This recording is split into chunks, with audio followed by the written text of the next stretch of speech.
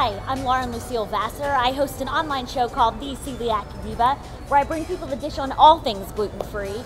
Because I've been gluten-free since March 18th, 2010, and I'm really excited because for today's episode, I'm here with Anne.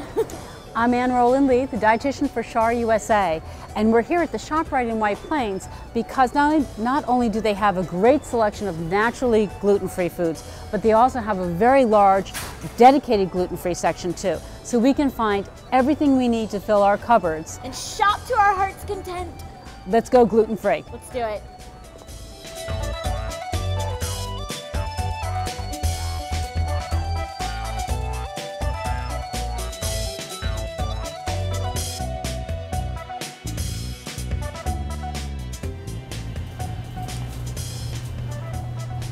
Here we are in the produce section, and I this is. I love this section. it's great. It's naturally gluten-free. You have great choices: fruits, vegetables, salads. All these things are not only good gluten-free choices, but they're also really good healthy choices. We should really shop a lot from this section. Yay! Nice peppers. Let's do it. I'll take one, you take one. Got them.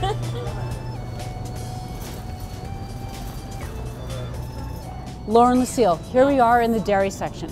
Dairy products are naturally gluten-free, so we can grab our milk, our yogurt, our shredded cheese, and be ready to go.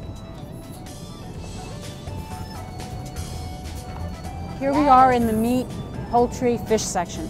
Good news here is that as long as the products are not marinated, coated, breaded, any of those things, these are naturally gluten-free. So this is a great place to shop. Wonderful resource for good food. Good source of protein. Want to pick up some chicken? Yeah, let's do it. Let's go.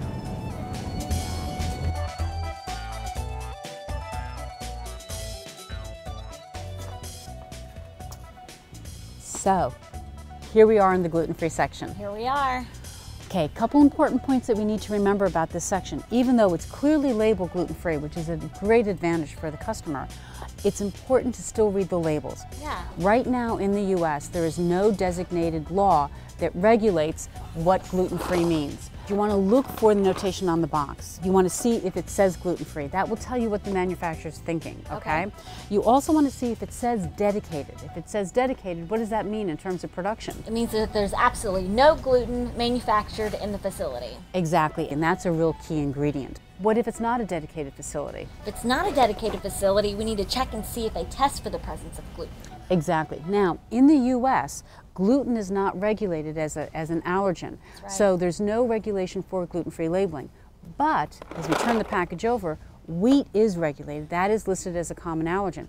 So if wheat is in the facility or in the ingredient, it must be stated on the package, which is a good way for us to kind of a first step to check. Absolutely. So besides all that great nutrition information, there's also a lot of key information about manufacturing policies and procedures here. In addition to those notations, many companies are now also doing an allergen code on the back. So takeaway from here, Takeaway is when you come to the gluten free section, how do you tell if it's really gluten free or not?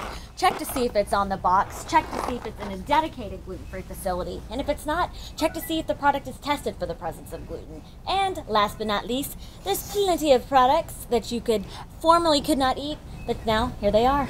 we can replace all those things we took out easily. We have snacks, we've got crackers, we've got cookies, we've got breads that are just amazing.